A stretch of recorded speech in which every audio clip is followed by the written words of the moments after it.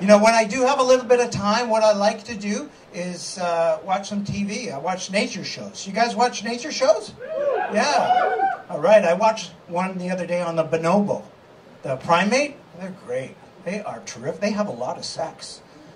A lot of sex. I mean, male female sex, male on male, female on female. It's wild. And they do it all for the price of a banana. That's it. They just present one another with a banana and they're off to the races. Ma'am, can I interest you in a banana?